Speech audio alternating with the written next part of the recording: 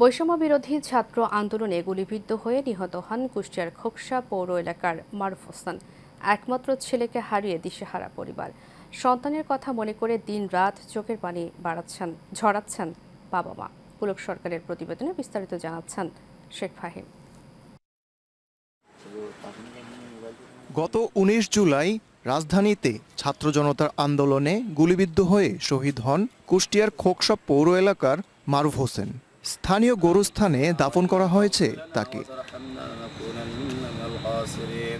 ছেলেকে হারিয়ে দিশেহারা মারুফের বাবা মা। তার কবরের পাশে দাঁড়িয়ে প্রতিদিন সময় কাটান বাবা শরীফ শেখ। এলাকার একটি চৌরাস্তার নামকরণ করা হয়েছে মারুফের নামে। ছেলের নামে একটি মসজিদও নামকরণের ইচ্ছা মা ময়না খাতুনের। আমার একমাত্র ছেলে ছিল, আমার সেই ছেলেই আছে স্বপ্ন ছিল। আমার আছে ছেলে আছে আমার সংসারের হাল ধরবে। আমি ছেলের নির্ভরশীল করেই আমি গিয়ে আমার ছেলেটার লেখাপড়া শিখে শিখেছি। কিন্তু আমার ছেলেটা চলে গেছে। আমি সরকারের কাছে অনুরোধ করি আমার যাতে সরকার থেকে কোনো অনুরোধ এক- একটা কোনো কিছু ব্যবস্থা করে দেয়।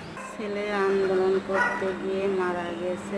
এর জন্য আমার কোনো নেই, তাই একটা মসজিদ হলে করে মসজিদ হলে পরে ভালো হতো আমার সেই জায়গায় অনেক লোকজন গিয়ে নামাজ কালাম করতো দোয়া করতো আমার ছেলের আত্মার শান্তি পাইতো।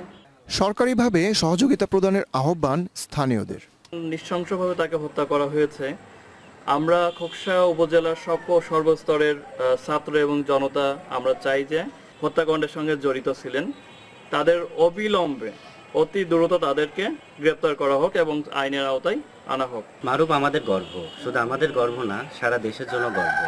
মারুফ আমাদের দেশের জন্য, আমাদের জন্য নিজের জীবনকে উৎসর্গ করেছে মারুফের মারুফ, আমাদের মারুফের পিতার একমাত্র স্বপ্ন ছিল, কিন্তু সেই স্বপ্নটা উনিশে জুলাই তার শহীদের মাধ্যমে স্বপ্নচ্যুত হয়েছে।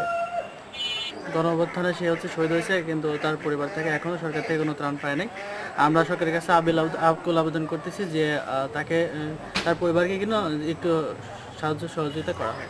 দুই ভাই বোনের মধ্যে বড় এবং কুষ্টিয়া পলিটেকনিক ইনস্টিটিউট থেকে কম্পিউটার টেকনোলজি বিভাগের শেষ বর্ষের ছাত্র ছিলেন মারুফ। Sheikh Fahim, Asian television.